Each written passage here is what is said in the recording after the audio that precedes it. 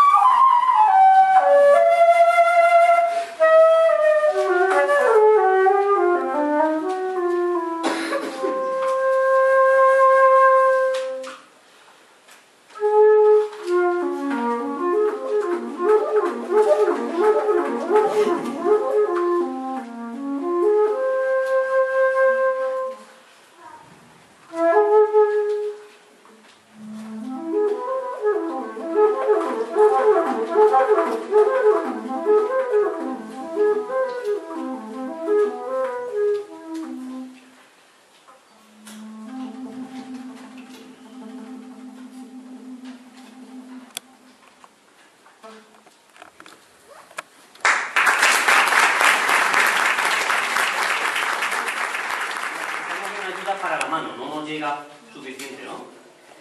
Entonces la obra que voy a tocar, que es para flauta sola, la que toca antes Santi es de Mower, eh, que luego Mike Mower, que vamos a hacer otra obra después también.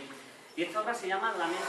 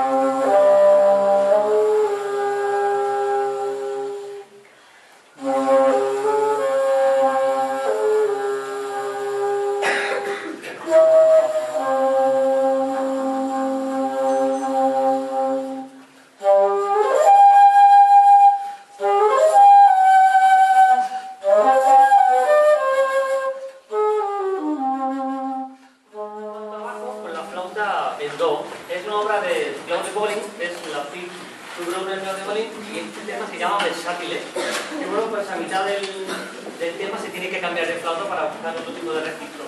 Este tema normalmente se hace con piano, con batería, con bajo eléctrico y con flauta en este caso, pero la combinación de las dos flautas.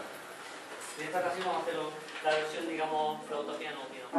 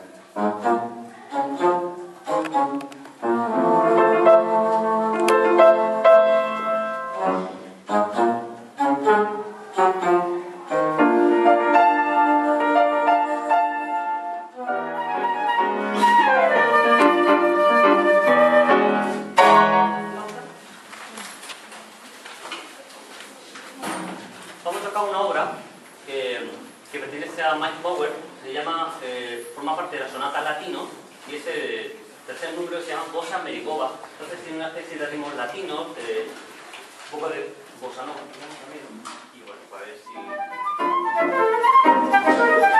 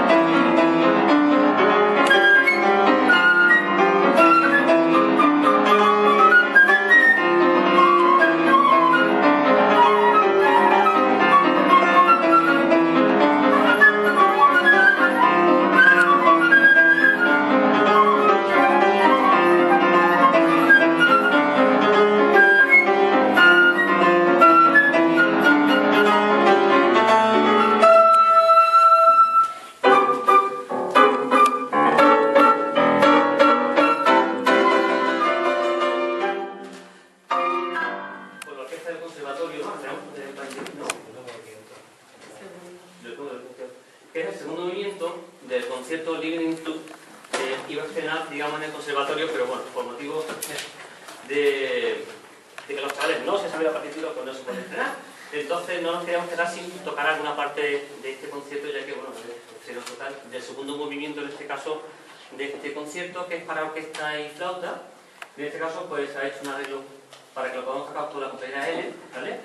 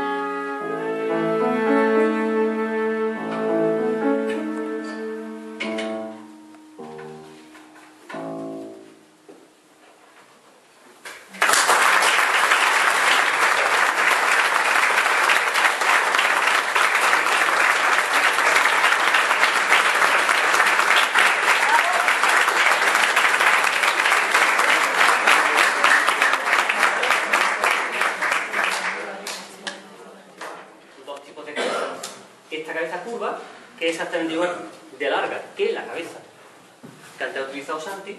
Pero bueno, por comodidad, por ejemplo, a mí me viene mejor lo que es la cabeza corta por los brazos y Santi le viene mejor con... Tiene los brazos más largos que yo, así que utiliza la cabeza larga. En los conservatorios también, cuando empiezan los niños y tienen los brazos muy cortitos, pues la flauta convencional, igual que la mía, puede tener también la cabeza curva, ¿vale? Para que los niños puedan coger, ya que no llegas con los dedos, ¿no? Lógicamente y las flautas estas, bueno, no llevan perforación al agujero porque son demasiado grandes, pero las flautas convencionales llevan unos taponcitos, ¿vale? Para que los niños puedan ponerlo sin problema. Estas ya vienen preparadas para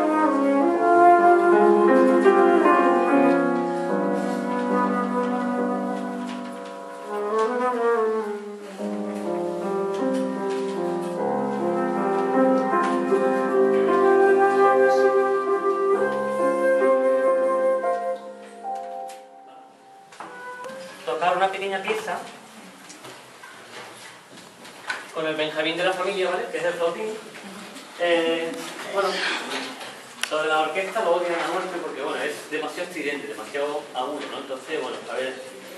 ¿Qué os parece una visita pequeña? Se llama el mirlo blanco, ¿vale?